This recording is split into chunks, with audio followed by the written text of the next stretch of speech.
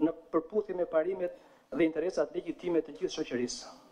Aktualisht prokuroria dhe gjykata po përballen me disa sfida, të cilat kemi për detyrë t'i fitojmë dhe do të rendisa konkretisht disa, sfidën e plotësimit të vendeve të mbetura vakant nga procesi i Vettingut. Duhen dhe disa vite që ne të plotësojmë radhët tona. Kemi sfidën e gjetjes së një të mesme të artë mes çështjeve pa fund të akumuluara ndër vite, dhe evadimit nga gjykatat të atyre që janë më urgjente.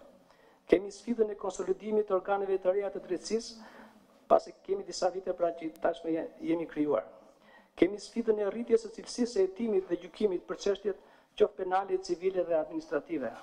Gjithashtu kemi dhe sfidën e kontrollit profesional mbi gjyqtarët dhe prokurorët si garanci për karrierën e tyre me meritë dhe mos të harrojmë sfidën më kryesore të fundit, rikthimin e besimit të publikut shqiptar tek drejtësia.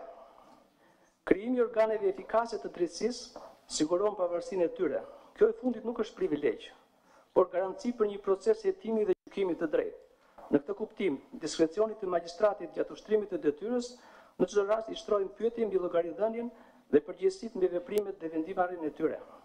Në një shoqëri demokratike, çdo institucion duhet të mbetet përgjegjës dhe të përgjigjet për hapat që ndërmerr duke u angazhuar në zgjidhjen e situatave të krijuara. Duke ju falënderuar të gjithëve për pjesëmarrjen në këtë aktivitet të përbashkët të Këshillit të Lartë të Prokurorisë dhe Këshillit të Lartë Gjyqësor, ju ftoj të paraqisni kontributet tuaja mbi çështjet e parashikuara sot për diskutim, duke mbetur të hapur për çdo mendim dhe debat. Edhe një herë gëzuar ditën e drejtësisë për të gjithë kolegët prokurorë, gjyqtarë, këshilltarë, hetues, oficerë, avokatë, përmbarues, ndërmjetës, noterë, juristë dhe studentët e së drejtës, si dhe gjithë shqiptarëve që duan dhe besojnë te drejtësia. Ju faleminderit.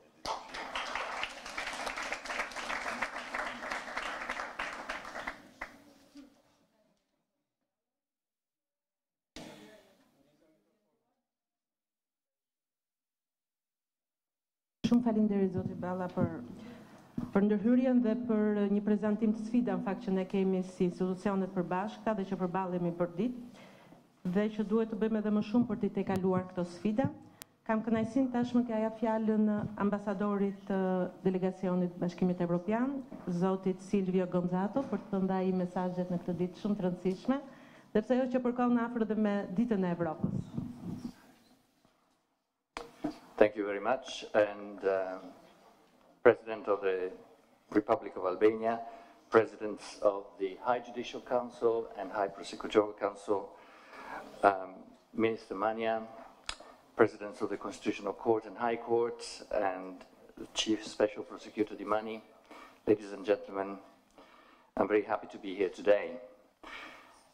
The will of Albania to consolidate the rule of law its pro-European orientation and adaptation of best, adaptation of best EU models are rooted deep since the first independent Ismail chamali government. Unfortunately, Albania suffered 50 years of a judicial system controlled by the government and marked by politically motivated prosecution and disrespect for the fundamental rights, such as the right to a fair trial, right to property, or the prohibition of inhuman or degrading treatment or punishment. The consequences are still evident, because an unfair justice system leaves deep wounds for generations. Thank you. A fair, consolidated, and independent justice system is a promise that the current generation owes to the future generations that will live in Albania as the citizens of the European Union. July 2016, marked the launch of an unprecedented reform of the judiciary with a clear aim of bringing Albania closer to the European best models, best practices, and eventually, through its successful implementation, also to joining the European Union. Today, on the 10th of May, just this day, we celebrate the commitment of Albania to progress with the consolidation of rule of law and fight against impunity, as much as its strong will to continue on the EU integration path. There are many reasons to celebrate today. The establishment and consolidation of the self-governing justice institutions that today are holding their annual meeting to coordinate their practices and work the progress made by SPAC in the fight against corruption and organized crime. The full functionality of the High Court, which for the first time since its, its creation has its full complement of career judges. And the removal from the system of corrupt judges and prosecutors as the vetting, an extraordinary system, but indispensable one, nears its successful end. These are not minor achievements. They are in fact extraordinary and mark huge milestones in Albania's efforts to strengthen the rule of law. And it took a lot of courage. Është kërkuar shumë kurajo. Good, has a, therefore a good reason to be proud.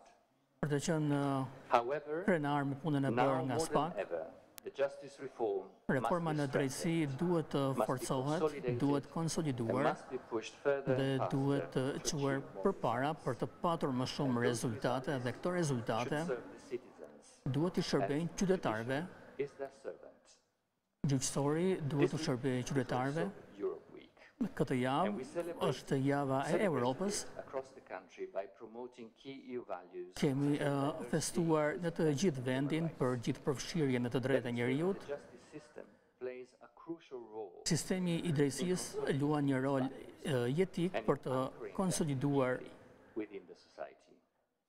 këto hapa dhe gjithashtu përmes vendimeve të drejta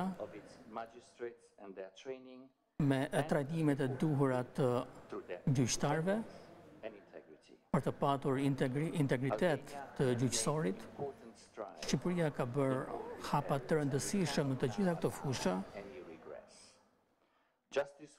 Reforma në drejtësi është e pakthyeshme dhe arritjet e spak duhet të jenë të pakthyeshme,